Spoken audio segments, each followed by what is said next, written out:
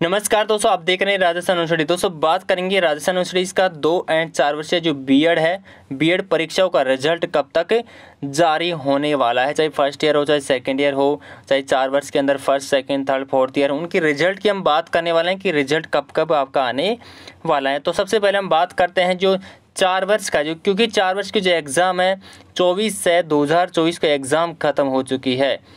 चार वर्ष के जितने भी छात्र उनके एग्ज़ाम खत्म हुए कितने डेट हो गई? चौबीस ज़ीरो छः को ख़त्म हो गई थी। अब रिज़ल्ट है, पच्चीस अगस्त के बाद में जारी किया जाएगा। जो चार वर्ष का जो रिज़ल्ट है, वो सबसे पहले जारी किया जाएगा तो पच्चीस अगस्त के बाद में कभी भी जारी हो सकता है। उसके बाद में बात करते हैं थर्ड ईयर तक। है B A B S C B Ed first year second year third year first year के एग्ज़ाम सात तारीख को ख़त्म होगी, सात आठ को। सेकेंड ईयर के एग्ज़ाम दो तारीख को ख़त्म हो चुकी है।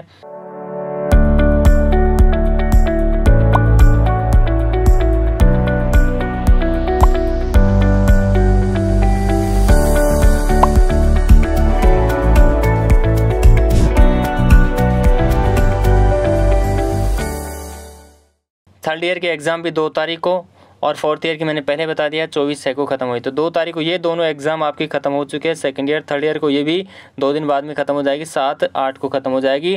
अब रिज़ल्ट के बाद आते हैं यहाँ पे बीस सितंबर के बाद में आपके जो तीनों के जो रिज़ल्ट वो जारी किए जाएँगे। बीस सितंबर के बाद में जारी होने वाले हैं। उसके बाद हम बात करते हैं B part first year second year की जो छात्रों के एग्ज़ाम ख़त्म हो चुके हैं, इकतीस ज़ीरो सात को। ठीक है, इकतीस ज़ीरो सात यानी कि इकतीस तारीख को ये एग्ज़ाम आपकी ख़त्म हो गई है। अब इनका जो रिज़ल्ट है वो पच्चीस सितंबर के बाद में जारी किया जाएगा इनकी चार वर्ष का सबसे पहले आएगा, उसके बाद में दो वर्ष के छात्रों का जो रिज़ल्ट है वो जारी किया जाएगा। तो आपको वेट करना होगा, पच्चीस सितंबर के बाद में आपका रिज़ल्ट आने वाला है। कॉपिया जो जाँच का काम है, वो स्टार्ट हो चुका है।